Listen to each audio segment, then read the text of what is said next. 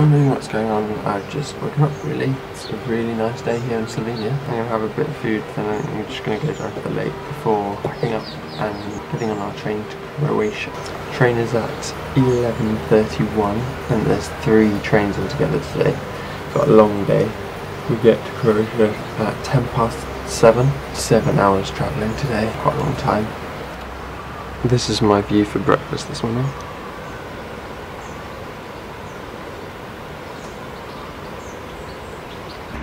Okay, me, Tom and Max are going to have a quick swim in the lake, refresh ourselves before the travel day ahead. Um, then we're probably just going to get some stuff for breakfast from the supermarket. Okay, this lake is nice to swim in. It's really cool. Matt's been in, but Tom hasn't yet. Swim done. That was re very refreshing. Tom didn't get in because didn't want to get wet again. Matt got in quickly. Now we're going to go and get some croissants or something, I think, for breakfast. So yeah, we're pretty much all packed up here. Uh, our taxi is at 11 train station. Hopefully we won't get the same mental driver as yesterday. It's been pretty good for the one night we've had in it. Um, I definitely preferred it at night, I think, just because it was a lot quieter, not as many Brits around. Okay, we're back at the train station. We're here nice and early, which is good. Taxi driver this time was normal, which is nice. She was a, it was a woman, so there wasn't any chat about pretty ladies.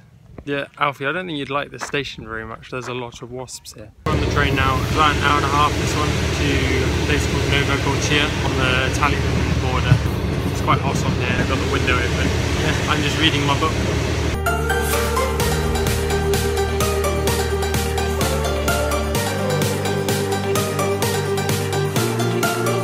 In Nova Gorica. Uh, it's right by the Italian border, I think. It's quite industrial, quite a big place. Uh, very southern Europe. Yeah, we're in Nova Gorica. There's just this sort of pub bar at the station. It's got this cool snooker room. It's like got a thing up here. And then, like, we've got a snooker table here with like a deck and bit bar. It's like an American saloon. This place is insane so different to anywhere I've ever been before. So arid. Here's a map of the area. So there's Nova Gorica, and I think Gorizia is in Italy. So that shows how close we are to the border. Our next train is going to go to Sežana down there, and then after that we go to Buzet in Croatia, I think, which isn't on here.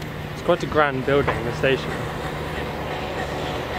like in terms of all the other Slovenian stations we've seen so far, it's by far the biggest. There's these markings on the floor that says Italia and then uh, Slovenia. So I'm unsure whether this was the old border from the end of the war, from 1947 till 2004. And then recently, Slovenia claimed this area back, by the looks of it.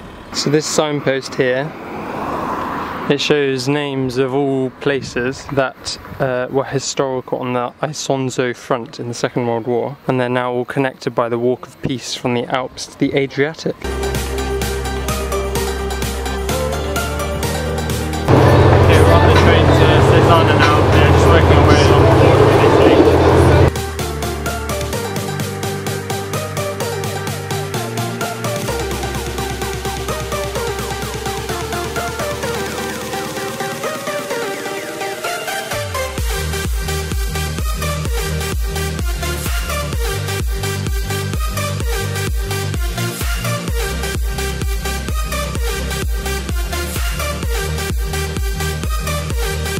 Arrived in Sežana, another 45 minute wait here. There's a bit of a breeze here, so it, it doesn't feel as hot. We're still gonna keep to this shade, I think. Okay, our train to Buzet's been sort of cancelled and we're getting a minibus instead. Okay, we've been on the bus for about 40 minutes now. Uh, we've got to the border crossing at Croatia, so we've had to, had, had to hand over all the passports just to get our documents checked. We're back on a train now. Um, the bus dropped us off at Buzet, so training from Buzet to Pula, back on track. We're back on a train now. The bus dropped us off at Buzet, so training from Buzet to Pula, as originally. This train has no lights, so when we're in a tunnel it's pitch black. This is one of the slowest trains I think we've ever been on. Um, Matt keeps asking if we can get off and buy a taxi. Um, to me, this is all part of interrailing. I've moved from the other carriage just because this one's a lot quieter because the engine is in the back of that one. So it's just really loud in there. It's a single track line, so we had to wait for a train to come this way.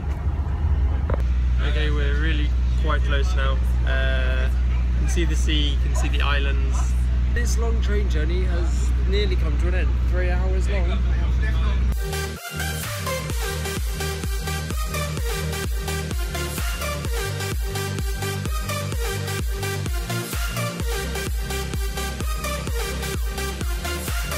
Okay, uh, we've arrived in Croatia. Uh, a long day. Uh, we've now at a pizzeria um, that was recommended to us by our Airbnb host. So that's me signing off.